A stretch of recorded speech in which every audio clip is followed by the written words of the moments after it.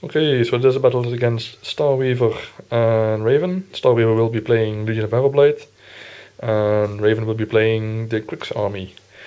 Scenery is um, two forests, uh, middle in the middle bit of the table. Uh, ruins up the north, another house up the north, two hedges, uh, one house to the south, and one house to the uh, west. Uh, we have the scenario was no man's land.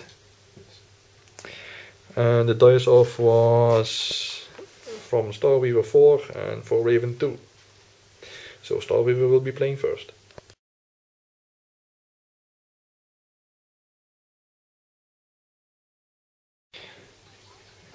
So this is Starweaver's deployment.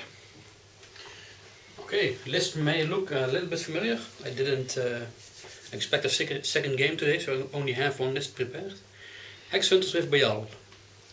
Carnivian, Befane en Belfagor. Uh, Revagor for the unit of Legionnaires.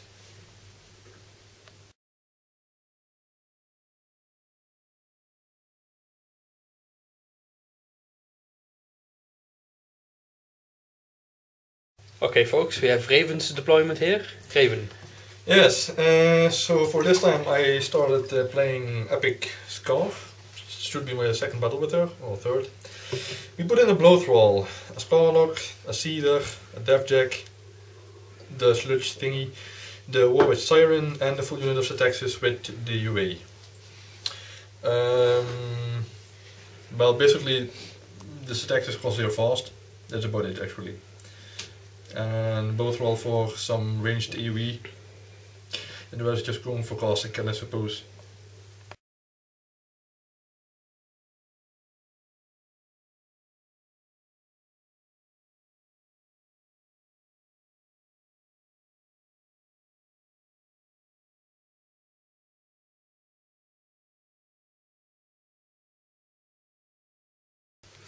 Okay, so the start as usual. Bethayne cast Carnivore on the Legionnaires and Ashen Veil on the Hex Hunters. Moved forward a bit. Carnivean. Uh, she also cast Spiny Growth on the Ravagore. Ravagore moved forward and rolled. Carnivean moved forward, rolled and casted Spiny Growth on itself. Legionnaires moved forward and Hex Hunters ran forward. And that was it.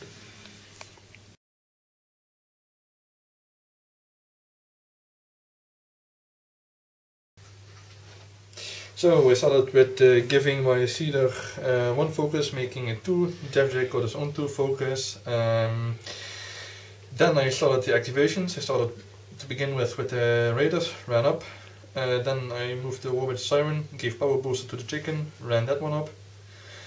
Then I activated Deathjack, ran that one up. Seether joined them in running as well. Skarre moved forward, casted Death Ward. That means plus 2 RM and I get to choose the damage column where it goes to. And at the mission all the chicken. And then she ended her activation, Skarlock running up. Uh, and the Bloat Thrall making a pot shot at the Hex Hunter and did nothing on the scatter. And that was it.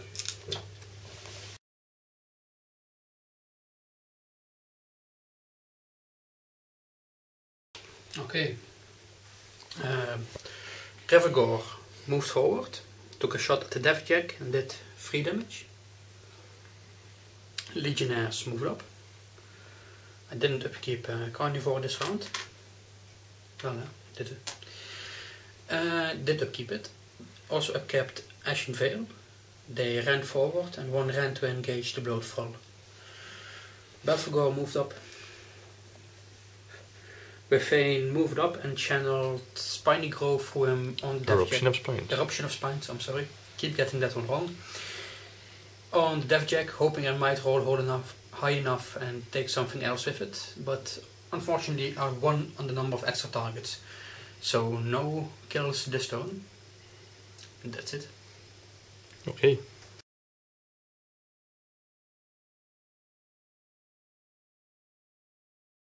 Welcome to round 2, turn 2. Raven, Care to explain? what the hell did you do to me? Um, I started with uh, upkeeping only Death Ward. I dropped Animation. Um, then I moved uh, the sister up again, or the war with siren. Gave it uh, a few- uh, focus to the chicken. Chicken ran up. Uh, then I activated Skarre. Skarre moved from here to there. The Seether was standing up at that point here. Then she calls a Perdition through the arc node onto the Legionnaire, which is easily to hit with a bigger uh, defense 12. Boosted anyway, just to uh, prevent the to- uh, topple of uh, double ones. Hit it, killed it. Then I move the Deathjack from here to there. Um, and then I choose to trample all the way to Bethayne with a fully fire floated focus dude. Uh, pop the feet before that so that it couldn't be targeted by free strikes or any other stuff that's basically happening. And I wailed on Bethayne, bringing it down back to three points, four points. Three points. At that point, my opponent didn't show any life-saving effort, and he chose to um, concede at that point. Yeah, and to clarify that, he used uh, his feet, the Deathjack, the Jack over there, and his caster, and the Bloat Thrall. Cannot be targeted by attacks, so I can't slam him away. If I move away, I get free strike to death. I'm in a good position to make a assassination run, but I can't target the caster. So next turn, you will have this Jack still over here, because I can't beat it to death, I can't slam it away. If I try to slam my caster away, I will pretty much certainly kill her. So next turn it'll be there in base contact with my caster, and he will put the last fist to the face. So So to speak. I just gave up at this point. What did we learn? Perdition is scary.